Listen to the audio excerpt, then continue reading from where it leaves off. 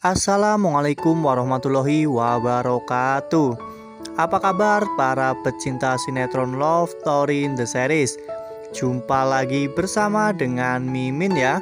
Seperti biasa Mimin akan memberikan informasi terbaru Mengenai alur cerita sinetron Love Story in the Series Yang tentunya akan membuat kita semua penasaran. Nah, kali ini Mimin akan menceritakan tentang bagaimana Atar yang merasa cemburu kepada Madina karena Atar mengetahui jika Madina sudah dekat dengan seorang laki-laki. Nah, bagaimanakah kisah selengkapnya? Tonton video ini sampai dengan selesai agar tidak terjadi kesalahpahaman di antara kita. Nah, sebelum lanjut di video kali ini, Mimin sarankan agar teman-teman menekan tombol subscribe dan juga nyalakan lonceng notifikasinya. Setiap hari Mimin akan terus membagikan informasi-informasi terbaru mengenai alur cerita sinetron Love Story in the Series.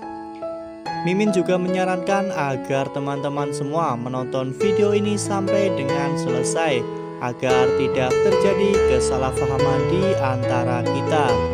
Adegan berawal pada saat Rian datang ke cafe Love Story. Pada saat itu, Rian mengajak Madina untuk menjadi panitia di acara remaja hijrah. Pada saat itu, Rian juga memesan kopi saat itu Dena mengatakan kepada Madina agar Madina menemani Rian dan mengobrol dengan Rian. Pada saat itu, akhirnya Madina pun mendatangi Rian dan mereka berdua pun mengobrol tentang masalah tersebut. Pada saat Rian sedang mengobrol dengan Madina, pada saat itu, Atar dan anggota geng motor Black Spider pun datang ke cafe Love Story. Pada saat itu, Diki yang sedang berada di luar, Diki pun tidak memperbolehkan mereka untuk masuk karena Diki khawatir jika mereka akan membuat keributan. Saat itu, Atar mengatakan jika dirinya tidak akan membuat keributan di Love Story karena dirinya hanya ingin ngopi. Namun, pada saat itu Atar melihat Madina sedang mengobrol dengan seorang laki-laki. Ya, Atar tidak mengetahui jika laki-laki itu adalah adiknya sendiri karena memang pada saat itu Rian menghadap membelakangi Atar. Pada saat itu Atar pun mengatakan dalam hatinya, Madinah sedang mengobrol dengan laki-laki. Apakah laki-laki itu adalah pacar Madinah? Ya, pada saat itu Atar pun memutuskan untuk pergi bersama dengan anak geng motornya itu. Pada saat Atar hendak pergi, saat mereka menyalakan motor, Rian pun mendengar suara motor mereka. Rian mengatakan dalam hatinya, sepertinya suara motor itu adalah suara motor Bang Atar. Namun, Rian mengatakan lagi bahwa sepertinya itu hanyalah suara motor teman-temannya. Lalu kemudian, Rian dan Madina pun keluar untuk melihat geng motor Black Spider itu yang sedang pergi. Pada saat itu, Madina menanyakan, "Ada apa rame-rame di sini?" Diki pun mengatakan kepada Madinah bahwa tadi ada anak geng motor yang akan masuk namun Diki tidak mengizinkan mereka masuk dan akhirnya mereka pun pergi. Ya tentunya Atar akan selalu memikirkan siapakah laki-laki yang sedang mengobrol dengan Madinah itu.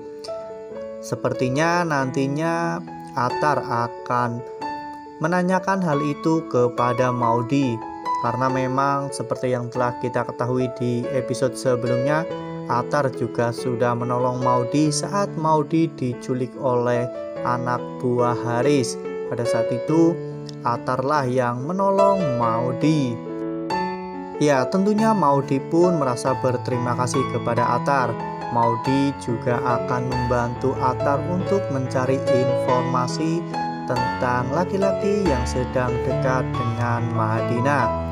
Ya, namun sepertinya nantinya Atar akan sangat terkejut jika dirinya mengetahui jika selama ini yang sedang dekat dengan Madinah adalah adiknya sendiri. Tentunya Altar saat itu merasakan kebimbangan Atar sedikit bingung apakah dirinya akan terus memperjuangkan hati Madinah atau dirinya harus merelakan Madinah untuk adik kesayangannya itu. Dan tak hanya itu, di episode yang akan datang kita juga akan melihat bagaimana nantinya Atar yang akan kembali bertemu dengan Madinah di jalan. Pada saat itu, Atar pun menghampiri Madinah Madinah pada saat itu hanya terbengong melihat Atar yang menghampirinya hingga akhirnya Atar menyadarkan Madinah. Pada saat itu Atar menanyakan kepada Madinah mengapa Madinah bersikap seperti itu. Ya mungkin saja pada saat itu Madinah sedang membayangkan atau sedang memikirkan tentang Sidan ya kawan-kawan sehingga Madinah bersikap seperti itu. Ya, tentunya karena memang saat ini Madinah belum bisa move on dari Sidan. Karena memang sampai dengan saat ini Madinah masih berharap Sidan akan kembali bersama dengannya. Apalagi pada saat ini Marsha sudah merestui hubungan Sidan dengan Madinah ya tentunya harapan Madinah pun semakin besar. Dan jika apabila nantinya Sidan benar-benar akan kembali ke love story, lalu bagaimanakah dengan Atar? Apakah Atar hanya dijadikan pengisi ruang kosong sebelum kembalinya Sidan atau justru nantinya Atar akan menjadi pendamping Madinah di sinetron Love Story in the series Nah, menurut teman-teman bagaimana nih? Apakah Atar sudah cocok untuk menggantikan Sidan atau belum? Tuliskan di kolom komentar ya. Nah, Mimin rasa cukup sampai di sini. Mimin memberikan informasi seputar alur cerita sinetron Love Story in the Series. Terima kasih untuk teman-teman yang sudah menonton video ini sampai dengan selesai.